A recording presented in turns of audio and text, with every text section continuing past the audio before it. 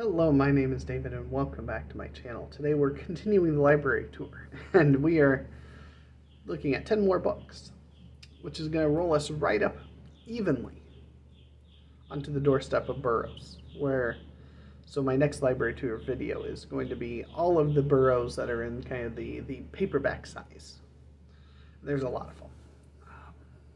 I believe all 11 of the uh, Barsoom and all 24 of the Tarzan, plus a couple others, I think. Um, and I'll fit all of those into one video. And uh, that, that'll take me through pretty much an entire shelf worth of stuff. But before we get there, we have to go through books like this. So this is First Rider's Call. So this is Kristen Britain, Brittain. Uh, this is the sequel to Green Rider, which we saw on the last library tour. So this is book two. I think I have three and four in trade paperback and hardcover. So I've got this ready. You know, nice beat up reading copy. Ready to rock and roll when I get around to reading that series. So now we go into Terry Brooks. So this is First King of Shannara. So this is ordered there because it says it's a prequel. We're not going to read the back of this one what we are going to read the back of instead is this one right here, Sword of Shannara by Terry Brooks. So it tells me it's volume one. The Sword of Shannara is the first volume of the classic series that has become one of the most popular fantasy tales of all time because it's pretty much a Lord of the Rings ripoff. I do remember that. This book, the the others not so much, but this one, uh, very very closely imitates a lot of what Tolkien does well but does not do it nearly as well as Tolkien. Long ago, the wars of the ancient evil ruined the world.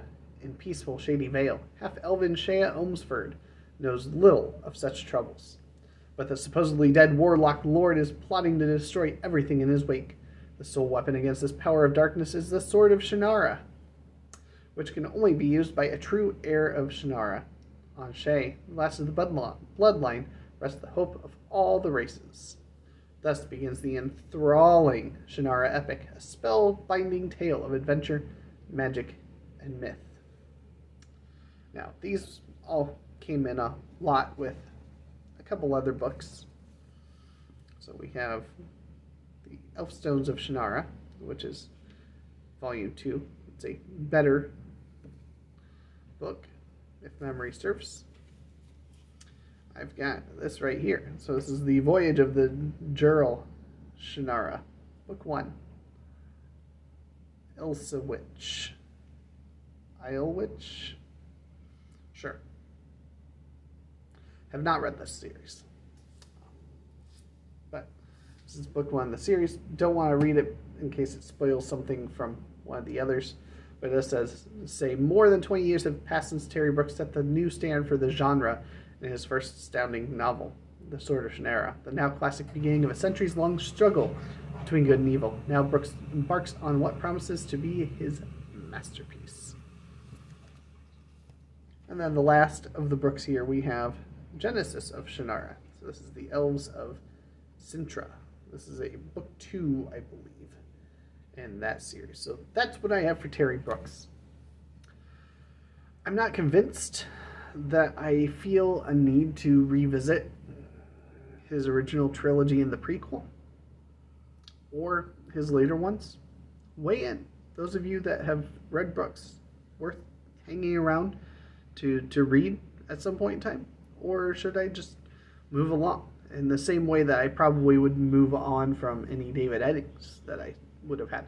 Loved it to death as a preteen and a young teenager but I don't know that I would enjoy it as much now as I did then. Although part of me does want to reread some of it. So now we move into Fredric Brown, Rogue in Space. So it's provocative novel about a unique being with the power to create or destroy worlds. That sounds interesting. He was unique and alone, a rogue in space. He had no name, no language, no friends. He had not been born and he could not multiply. He had just happened, an accidental combination of atoms that could think and learn and do a lot of incredible things. He had floated free in space for billions of years, and for all he knew, he was the only living thing in the universe. So when he met three human beings wrangling and bickering in their funny looking spaceship, his whole life changed, because he suddenly knew that he could make them do anything he wanted. That sounds really good. Okay, I'm on board. Fredric Brown, you you locked in your place on that shelf. Okay, I wish I had more Fredric Brown right now, but that's the only one I've got. So we have some John Brunner next, The Whole Man. So by the author of Stand on Zanzibar. This is not Stand on Zanzibar. I'm guessing it's not nearly as good as Stand on Zanzibar. What kind of man was Gerald Howson? Born in the gutter with the body of a cripple, he was raised in harsh poverty and ridicule, and he grew up with a mind of transcendent power.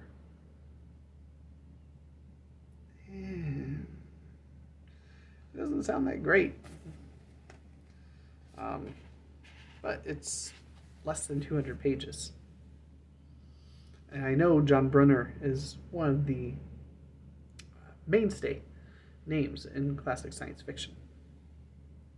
Obviously, if I had stand on Zanzibar, I'd be keeping that, reading that. If you've read The Whole Man, let me know. Should it stay or should it go? Because part of this idea behind the library tour is to evaluate. Because I've gotten books like this in, you know, eBay lot boxes, and I've never evaluated whether or not I want them. So there are probably dozens of books here that I could prune without any regret at all. So we have Cinnabar by Edward Bryant, a city at the center of time where infinite possibilities converge. Come to Cinnabar, where the turbulent time stream cascades into a multi-dimensional vortex.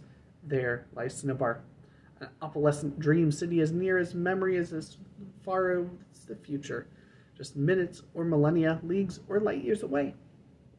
Here dwell the shining immortals, Cougar Lou Landis, the last hero who stalks dreams across the sands of Zanzibar, or Cinnabar. Jade Blue, the soft furred cat mother who mourns her lost mine kittens. Sensuous sex star Tourmaline Hayes and her sometimes lover Timnath Obregon, a not quite mad scientist who tampers with time.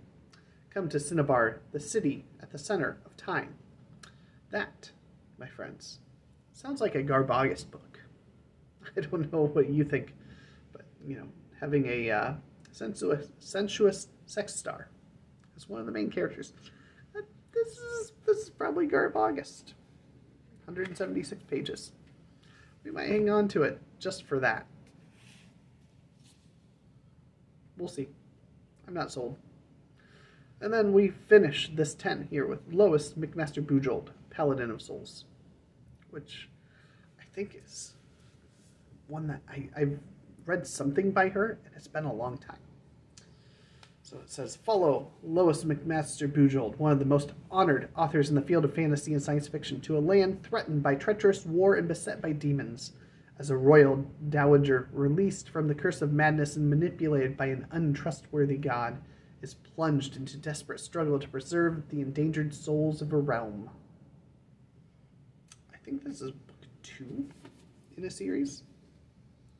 Uh, I think Curse of Chalion is the book that I've read. I think that is what comes before this. But uh, it's been a long time. I need to revisit Curse of Chalion. So there we go there's 10 books, so let me know on a couple of those books. Terry Brooks, uh, the John Brunner. Weigh in, please. Let me know. Should should they stay? Should they go? I don't know. I will catch you later.